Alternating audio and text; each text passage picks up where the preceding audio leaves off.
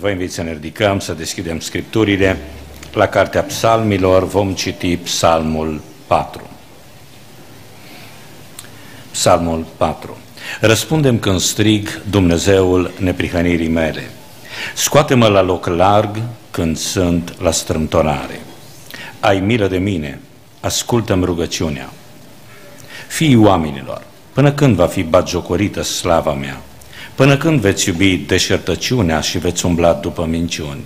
Să știți că Domnul și-a ales un om pe care îl iubește, Domnul aude când strig către el. Cutremurați-vă și nu păcătuiți. Spuneți lucrul acesta în inimile voastre când stați în pat, apoi tăceți.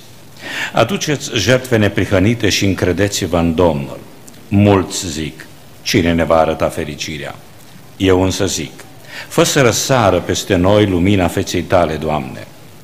Tu îmi dai mai multă bucurie în inima mea decât au ei când li se mulțește rodul grâului și al vinului. Eu mă culc și adorm în pace, căci numai Tu, Doamne, îmi dai liniște de plină în locuința mea. Amin. Vă invit să vă reașezați.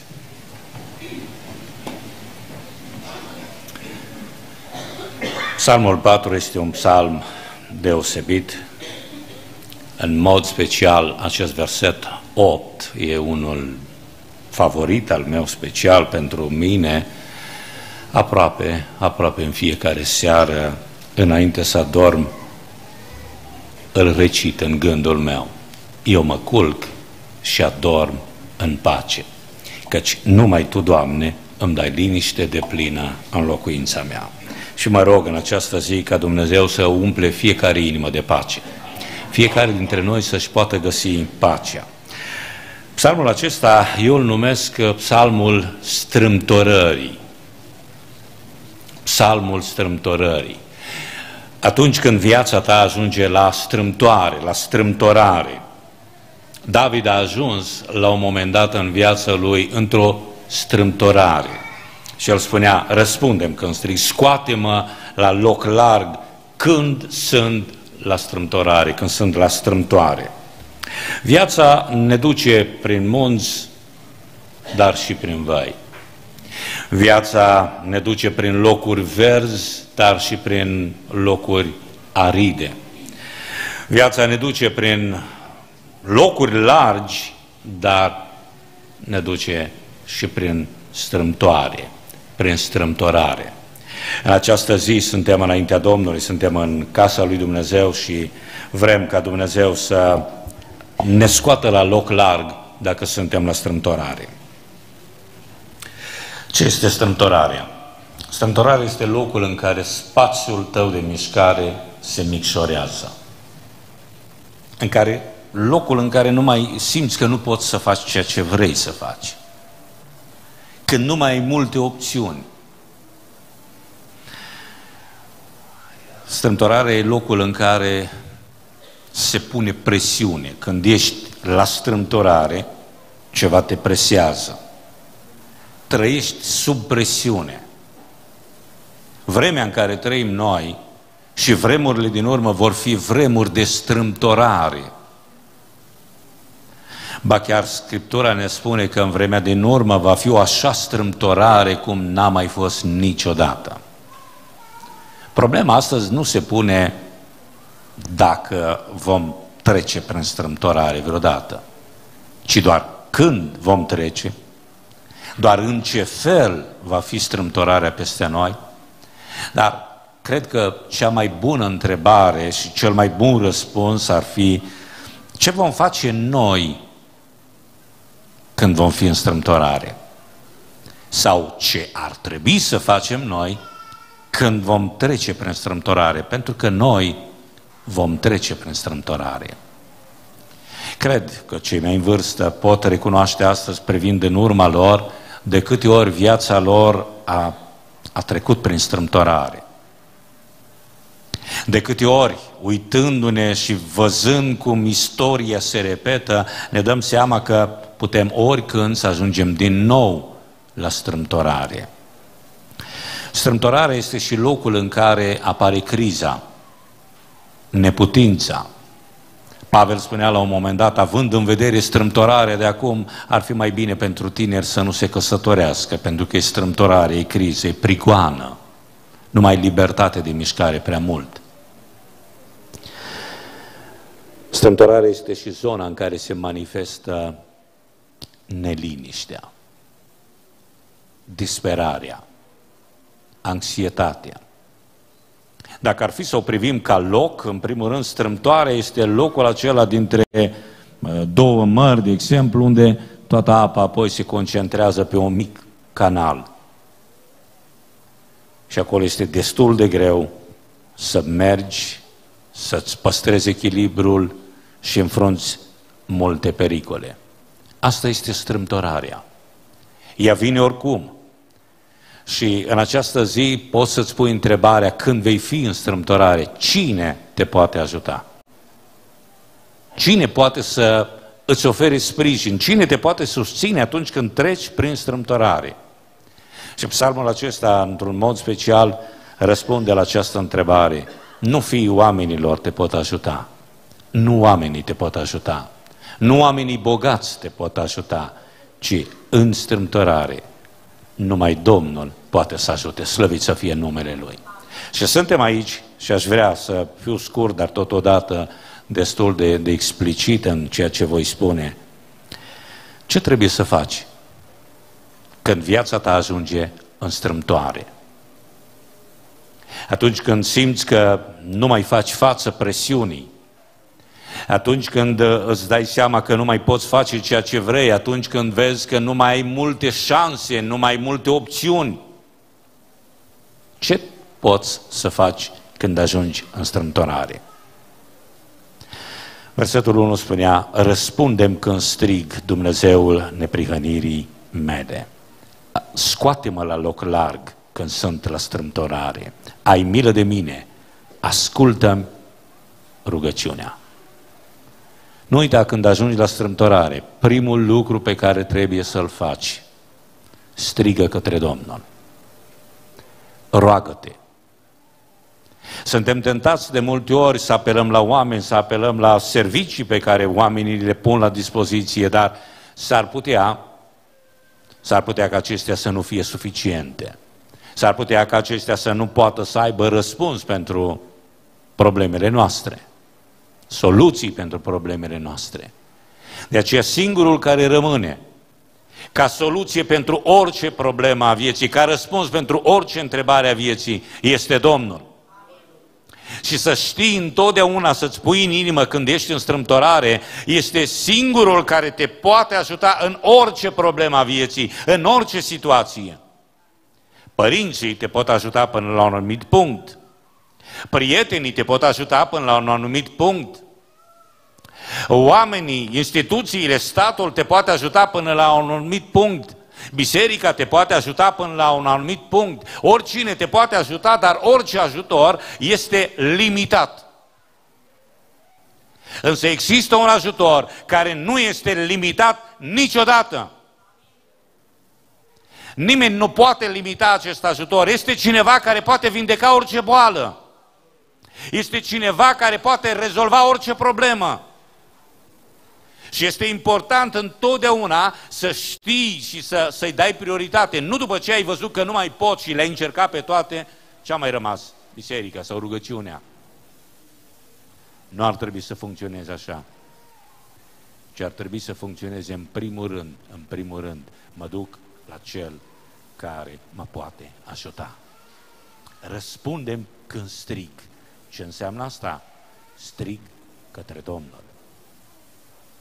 Îl caut pe Domnul. Doamne, ascultă-mi rugăciunea. Nu uita, când ești la strâmtorare, roagă-te Domnului. Strigă către Domnul și Domnul ascultă. Slăvit să fie numele Lui. Al doilea rând, atunci când treci prin strâmtorare, atunci când viața ta este la strâmtoare, amintește-ți că Domnul te iubește. Spune aici David, să știți că Domnul și-a ales un om pe care îl iubește. Domnul aude când strig către el. Domnul te iubește. E adevărat că atunci când treci în strâmtoare, prima îndoială pe care o ai este mă mai iubește Domnul? Mă mai ascultă Domnul? Mă mai iartă Domnul? Mă mai primește Domnul? Și iată că David uh, e aici, parcă discuția asta când vorbește cu Domnul, când vorbește cu, cu cei care sunt în jurul lui și la un moment dat spune să știți. El vorbește cumva cu dușmanii lui, cu cei care l-au, l-au înghesuit, cei care l-au adus la strâmtorare. Uh, el stă de vorbă și spune să știți că Domnul și-a ales un om pe care îl iubește. Eu aș vrea să pot spune în inima ta, pentru că mai târziu o să vedem, spunea, spuneți lucrul acesta când stați în pat și apoi tăceți. Adică dincolo de asta să nu mai fie alte uh, comentarii, uh, răspuns la răspunsuri. Ceea ce contează cel mai mult în viață este să știi că Domnul te iubește să simți dragostea Lui, să primești dragostea Lui, să accepti dragostea Lui, să răspundești dragostea Lui. Spuneți lucrul acesta în inimile voastre când stați în pat. Dacă vrei să ai liniște, dacă vrei când treci prin strâmtorare să, să poți ajunge biruitor, să poți ieși din strâmtorare, adu-ți aminte că Domnul te iubește. Nu este lucru mai măreț, nu e lucru mai important când ești în strâmtorare. Aduți aminte, dar rostește, spune cu gura ta sau spune în inima ta. Spuneți lucrul acesta când stați în pat. Spuneți în inima voastră. În al treilea rând, atunci când viața te duce la strâmtorare, pune restul gândurilor pe pauză. Puneți lucrul acesta în inima voastră, în inimile voastre, când stați în pat, apoi tăceți. E important să ai acea tărie de a tăcea, dincolo de dragostea lui Dumnezeu, să nu mai ai alte răspunsuri, să pui celelalte gânduri, să le pui pe pauză. E vorba de, de odihnă, e vorba de somn, e vorba de liniște, e vorba de pace. E timpul acela de meditație, când stai de vorbă cu tine însuți, când spui inimii tale și apoi dintr-o dată să nu mai ai altceva în afară de dragostea lui Dumnezeu, în afară de iubirea lui, să nu mai ai alt răspuns, să nu mai ai altă căutare, să nu mai ai altă motivație, să nu mai ai altceva la, la, la care să te gândești. N-are rost să te mai gândești la ura oamenilor, la invidia lor, la răutatea lor. Taci! Spune doar Dumnezeu mă iubește și e suficient. Nu trebuie să mă mai gândesc la câți oameni mă vorbesc de rău, nu trebuie să mă mai gândesc la câți mă urăsc, nu trebuie să mă mai gândesc la câți disprețuiesc. E suficient să știu că Domnul mă iubește. Spune lucrul acesta în inima ta și apoi taci. Nu-ți încărca inima cu gânduri negative, cu gânduri grele, pentru că uh, o să vedem la final să vorbesc despre cele mai importante minute din viața ta sunt ultimele cinci minute înainte să adormi. Acelea sunt cele mai importante minute din, din ziua ta. Și e foarte important cu ce le încarci, ce faci, spre ce îți îndrepți gândurile, la ce te gândești, ce meditezi, ce spui în inima ta înainte să adormi, înainte să se termine starea de conștiință pe care tu o controlezi, și când intri în subconștientul tău, când tu nu mai controlezi, tu nu mai ești conștient de tine, dar creierul tău lucrează, inima ta lucrează, organismul tău lucrează, procesele chimice care au loc în corpul tău, toate lucrează după un tipar pe care tu îl stabilești în cele cinci ultimele 5 minute ale zilei tale. Psihologii și medicii spun sunt cele mai importante minute ale zilei tale. Contează mult ceea ce spui atunci, contează atunci ce spui și contează și ce nu spui. Să taci. Și ce să taci? Ce să spui și ce să taci?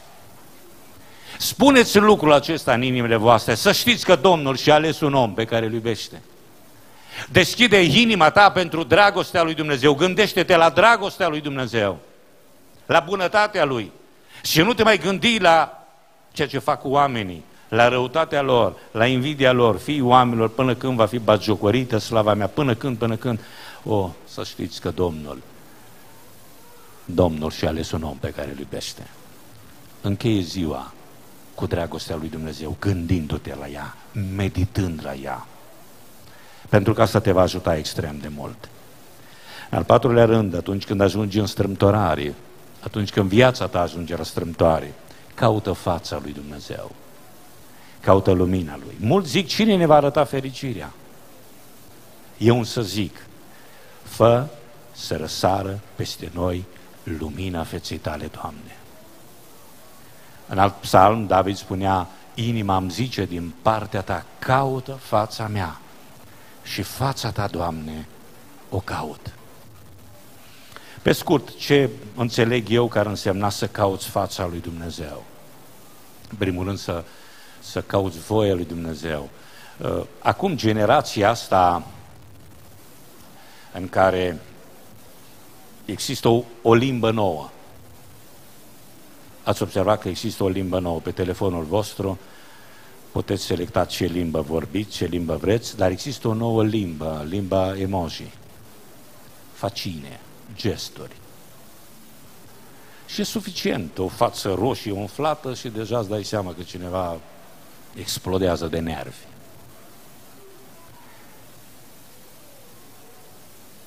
Caută fața mea în orice lucru pe care îl faci, caută fața lui Dumnezeu și vezi cam ce spune fața lui Dumnezeu. Apreciază, e supărat Dumnezeu, îi place lui Dumnezeu ceea ce faci, găsește plăcere Dumnezeu în ceea ce faci, râde Dumnezeu, știți că cel ce șade în cerul râde de unii, cum se chinuie, cum se zbat.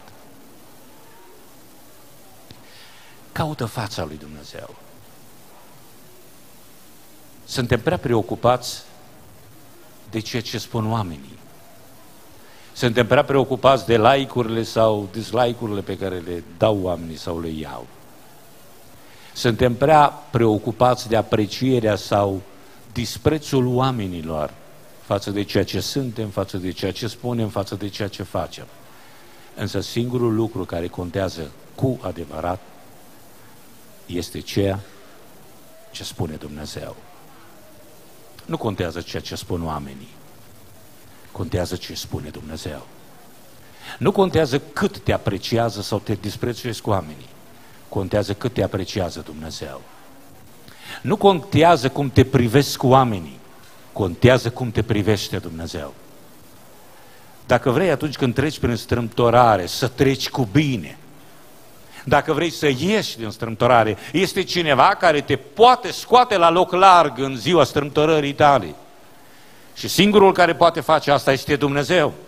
De aceea fii preocupat, fii în permanență preocupat, fii preocupat doar de asta, de fața lui Dumnezeu.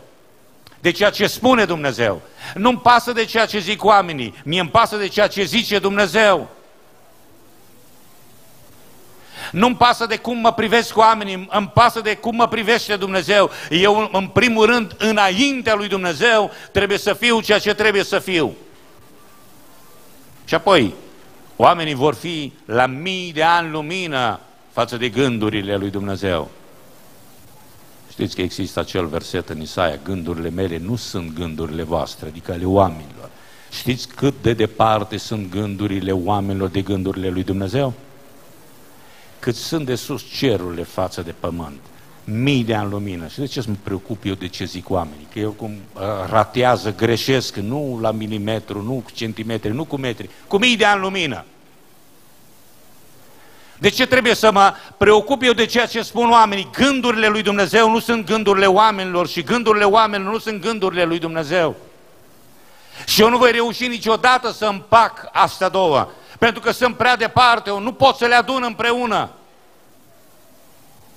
Și atunci nu are rost să mă forțez, nu are rost să mă gândesc, nu are rost să mă preocup prea mult de ceea ce spun oamenii, de ce fac oamenii, de relația cu oamenii, cât mă interesează relația cu Dumnezeu și de cum mă vede Dumnezeu, cum mă iubește Dumnezeu. Asta este ceea ce contează. N-are rost să te uiți la cei din jur. N-are rost să, să bagi în seamă prea mult vorbele rele care se spun de tine. N-are rost să bagi în seamă prea mult disprețul oamenilor din jurul tău. În această zi, amintește-ți că Domnul te iubește. Și apoi pune restul gândurilor pe pauză. Și apoi caută fața Lui. Vezi ceea ce îi place lui Dumnezeu și ceea ce nu-i place. Și în primul rând, pune-te într-o relație bună cu Dumnezeu. Împacă-te cu Dumnezeu. N-ai cum să împaci și pe Dumnezeu și pe oameni. Nu poți. Nu poți. Pentru că în momentul în care te apropii de Dumnezeu, oamenii te vor urâ, oamenii te vor... El spunea, Domnul Iisus spunea, din pricina mea veți fi omorâți. Și tu te plângi că cineva te vorbește de rău. E normal asta, nu, nu se poate, este imposibil. Pentru că gândurile lui Dumnezeu nu sunt gândurile oamenilor. În al cincilea rând, atunci când treci prin strâmtorare, ceea ce ar trebui să faci este să apreciezi bucuria Duhului Sfânt și nu pe cea a vinului. Spunea versetul 7, Tu îmi dai mai multă bucurie în inima mea decât au ei când li se mulțește rodul grâului și al vinului. Știți că vinul este cumva simbolul bucuriei, dar uh, din păcate, din păcate, cum tot mai mulți oameni îl folosesc, deși e, e doar, creează o bucurie artificială, e ceva sintetic. Însă bucuria pe care o dă Dumnezeu este o bucurie autentică o bucurie reală, o bucurie adevărată. O bucurie care nu izvorăște din ceea ce ai, din suma de bani pe care o deții, din patrimoniul tău financiar, imobiliar sau orice ai avea altceva. Tu îmi dai mai multă bucurie decât au ei. Când li se mulțește rodul, tu poți avea mai multă bucurie. Ce vreau în această zi să, să înțeleg ceva, există un, uh, un proverb românesc. Dumnezeu dă, dar în traistă nu pune. Dumnezeu îți dă bucuria. Dar depinde tu ce vrei să faci cu ea, ce vei face cu ea. Eu cred că astăzi Dumnezeu pentru fiecare dintre voi aici, Filadelfia Mansuie, Dumnezeu dă bucuria. Dar apoi tu vei sta acolo, hai, lasă-mă și cu asta, tu decizi ce vei face cu bucuria. E în controlul tău. Tu decizi dacă te bucuri sau nu. Dumnezeu îți dă. Tu îmi dai mai multă bucurie decât au ei.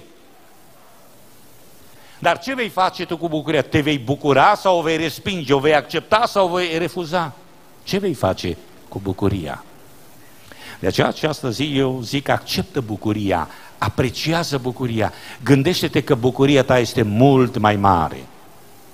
Bucuria mântuirii este mult mai mare decât și dacă ai câștigat toate comorile, toate loteriile din lume, dacă le-ai câștigat tu, nu valorează cât bucuria mântuirii, bucuria că Dumnezeu ți-a iertat păcatele, bucuria că Dumnezeu te-a făcut copilul Lui. Nu există și nu trebuie să fie bucurie mai mare. Și dacă o ai astăzi, de ce arăți de parcă ai pierdut totul? De parcă s-au înnecat toate corăbiile. Tu îmi dai bucurie, dar eu trebuie să o apreciez. Și eu trebuie să o am. Și eu trebuie să o activez. Sunt oameni care au bani în buzunar și ei mor de foame sau de sete, spun e prea mult, e prea greu și au bani, au resurse. Dar dacă nu cumperi, la fel și cu bucuria. Dumnezeu ți-o dă. Dar tu poți fi zgârcit sau darnic, tu poți să te preocupi de tine, să te îngrijești de tine sau poți să spui, mai sufer, mai răbd, las că e bine așa. Și întâlnești oameni cu bani în buzunar și umblă cum umblă. Cu hainele pe care au, cu mașinile pe care au, cu casele, dar au bani, au resurse. La fel sunt mulți creștini care au la îndemână resursa, au bucuria, au Duhul Sfânt, au tot ceea ce trebuie, dar nu se bucură. Pentru că Dumnezeu ne dă. Și El ne dă din belșug. Și El ne dă fără părere de rău. Că Dumnezeu ne dă. Și este bun. Și astăzi Dumnezeu ne dă bucurie, slăvit să fie numele Lui. În al șaselea rând, atunci când viața ta ajunge la strâmtorare, ceea ce ar trebui să faci, odihnește-te. Eu mă culc. Eu mă culc. O acțiune săvârșită de mine, pentru mine, asupra mea. Eu mă culc. Depinde de tine. Asta iarăși e în controlul tău. Dacă vrei să te odihnești sau nu, dacă vrei să te culci sau nu eu mă culc și adorm în pace. De multe ori, trecând prin experiențe, trecând prin multe strâmtorări în viață, am spus, psalmul acesta rămâne un favorit al meu. Not. Mă întreabă soția cum pot să dorm. În pace, liniștit. Când nu pot rezolva un lucru, dacă se întâmplă o problemă care nu mai este în controlul meu, adică normal, nu moare copilul lângă tine și tu te întorci pe partea cealaltă. Da, intervii, te duci, dacă se întâmplă ceva asupra căruia tu poți avea un control, da, intervii, dar dacă eu nu pot face nimic decât să mă îngrijorez, să mă frământ, să mă întreb, să rostești rugăciunea, te rogi, dar apoi te culci și adormi în pace. Una din marile probleme pe care le au astăzi oamenii, societatea în care trăim noi, unul din medicamentele care se vând foarte bine sau categoria de medicamente care se vând foarte bine sunt acele medicamente pentru împotriva anxietății, neliniștii, depresiei, insomniei, medicamente ca să pot dormi, somnifere sau pot fi numite în multe moduri. În această zi eu îți recomand o rețetă care te poate ajuta să dormi bine, dar nu somnul nepăsării, ci un somn al păcii, al liniștei cu Dumnezeu. Un somn care să-ți aducă o dihnă trupului, sufletului și Duhului tău. Eu mă culc și adorm în pace. Vă dau doar două exemple biblice. L-a omorât pe Iacov. Iacov era pastorul bisericii. S-a dus Iacov, a rămas Petru, pastor principal al bisericii. Papă, cum îi zic catolicii. Numai că l-au arestat și pe Petru. Și deja i-au semnat sentința și urma să fie executat, decapitat și el a doua zi. Era ultima noapte în care mai putea să doarmă Petru. Dacă tu ai ști că e ultima ta noapte, mai dormi? Uman, nu cred că dormi. Însă ceea ce ne spune Biblia este că Petru dormea între doi ostași, dacă e înghesuială, dacă e strâmtorare la Petru. Și vine un înger și îl trezește și le liberează. Dar gândiți-vă, pentru el era ultima lui noapte, erau ultimele ceasuri ale vieții, ultimele clipe de viață. Cum poți să dormi Petru? Nu știu, probabil a citit și Psalmul 4, versetul 8. eu mă culc și adorm în pace. Căci numai Tu, Doamne, îmi dai liniște de plină în locuința mea. Un alt episod, furtună pe mare, valurile atât de mari încât aduceau apa în barcă, barca se clătina, gata, gata să se răstoarne, când pe o parte, ucenicii nu știau, acum vine din partea asta, hai să ne punem aici, să, să contrabalansăm, să nu știau ce să mai facă, nu știau uh, cum să se echilibreze lucrurile. Și la cârmă, Iisus doarme. Cum poți să ai liniște în mijlocul furtunii? Cum poți când, când vezi că totul vuiește în jurul tău, totul e sumbru, totul e negru, moarte aici, e gata, sare în barcă, ne distruge. Sunt ultimele clipe, Doamne, murim. Ție nu-ți pasă. Eu mă culc și adorm în pace. Deci numai Tu, Doamne, îmi dai liniște de plină în locuința mea. De aceea, în al șaptelea rând, atunci când viața te duce prin strâmtorare, fii plin de pace. Uh, spuneam, nu dormi somnul nepăsării, nu, eu mă culc și doar mă culc. Adorm în pace. Asta înseamnă, fă pace cu Dumnezeu, asigură-te că ești în pace cu Dumnezeu. Și asta înseamnă seara când pui capul pe pernă, te rogi, îți mărturisești, îți recunoști greșelile, păcatele, îți ceri iertare lui Dumnezeu, te împaci cu Dumnezeu și atunci, da, poți să dormi un somn liniștit. Că stă Domnul liniștea aceea. Îți liniștești inima înaintea Lui pentru că știi că El ți-a iertat păcatele.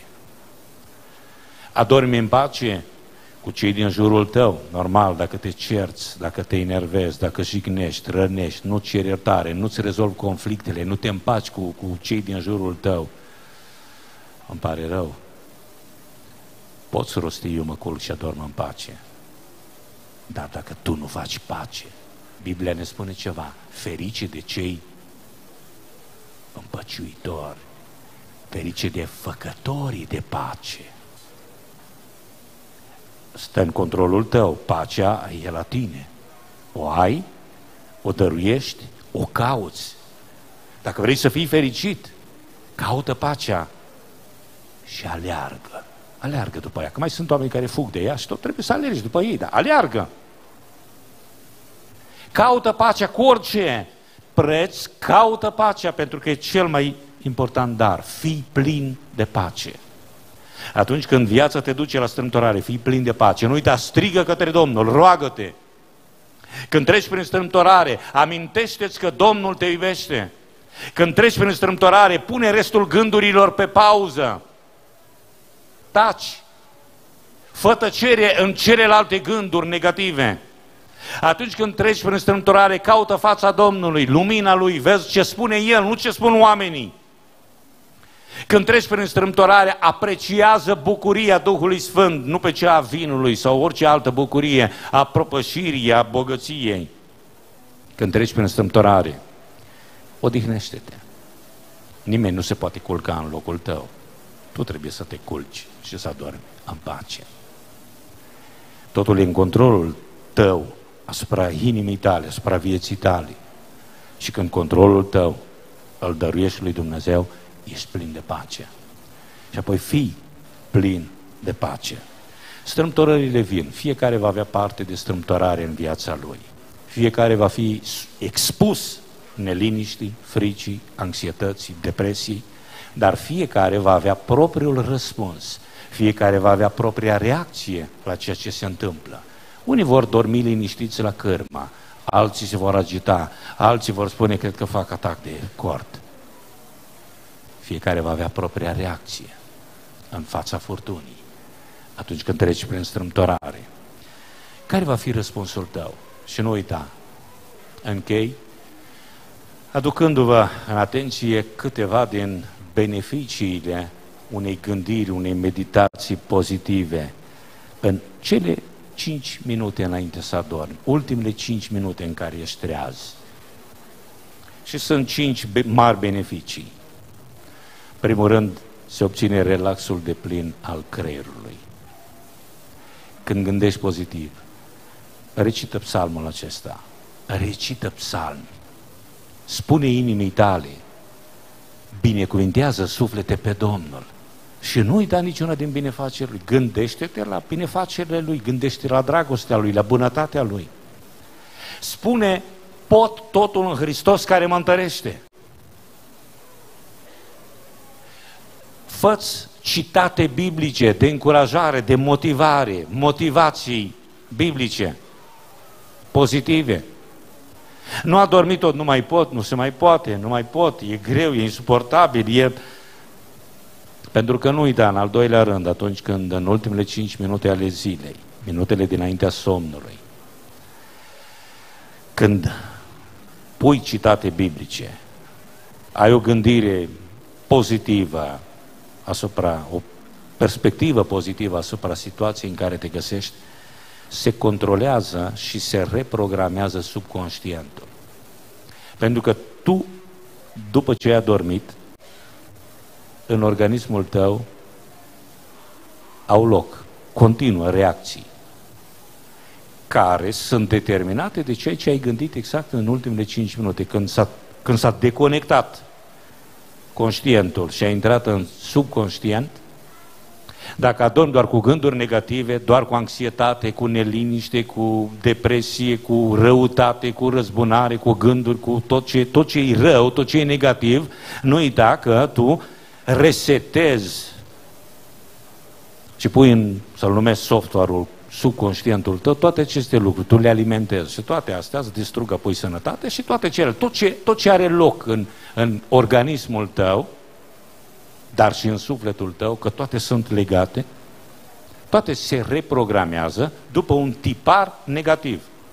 Și apoi totul se merge negativ. A doua zi ești tot obosit, trupul tău este bonlav, și ai tot felul de stări, și ai tot felul de tensiuni, și tot felul de boli, și te întrebi de ce. Și poate soluția ar fi, înainte să adormi, rostește-ți rugăciunea, împacă-te cu Dumnezeu, aplică rețeta asta simplă și rostește cuvinte bune, pozitive. Gândește-te la dragostea lui Dumnezeu. Iartă. Și apoi, în ultimele cinci minute, dacă spui ce este rugăciunea, citate biblice, meditația biblică, poți domina toate emoțiile negative, le poți stăpâni. Și îți dai seama că încet, încet le depășești, treci peste ele. Apoi, în cele cinci minute, după aceea, se dezvoltă creativitatea. Pentru că tu vei căuta totdeauna soluții, vei căuta ceea ce este pozitiv, te gândești la bine și asta ajută creativitatea ta în toate domeniile tale. Și ca să nu mai zic ultimul beneficiu, cel de-al cincilea, este că se fortifică sistemul imunitar și funcțiile hormonale, pentru că în organismul nostru miliardele de celule transmit informații una către alte în baza gândirii tale, în baza ceea ce creierul are instalat de către tine. Tu instalezi în cele 5 minute, nu numai în ele, dar ele sunt cele mai importante, pentru că atunci, înainte să pleci, înainte să te duci în mica moarte numită somn, tu activezi ceva Depinde de tine. Asta nu activează nimeni, nu merg eu să activez, nu merge soția să-ți activezi în gândurile tale, numai tu ai controlul și tu gândești. Tu meditezi, dacă vrei să meditezi la ceva bun. Dacă vrei să deschizi Biblia, vrei să ai un verset biblic, vrei să rostești o rugăciune, vrei să rostești un citat, să spui inimii tale, Dumnezeu mă iubește.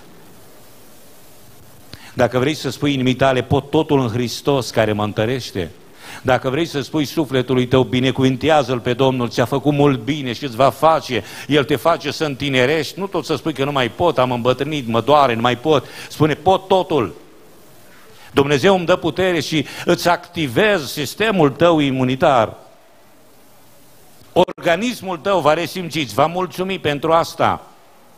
Sufletul tău va fi fericit pentru că îl întâlnești pe Dumnezeu. Sufletul tău are nevoie de Dumnezeu.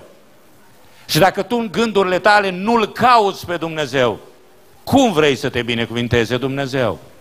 Cum vrei să fii fericit? Cine ne va arăta fericirea? Întreabă mulți. Însă eu știu că fericirea e să-mi caut pe Dumnezeu. Fericirea e să mă apropii de Dumnezeu. Ori dacă tu în gândurile tale, în meditațiile tale, înainte să te adormi, nici nu te gândești la Dumnezeu, nici măcar nu te rogi, nici nu trece prin cap, nici măcar nu, nu, nu trece pe lângă tine un verset biblic. Vrei odihnă? Vrei liniște? Vrei pace? Vrei fericire? În această zi vreau să înțelegi că viața te duce prin strâmtorare. Dar cel mai important lucru este să-L cauți pe Dumnezeu, să te rogi, să primești bucuria Lui.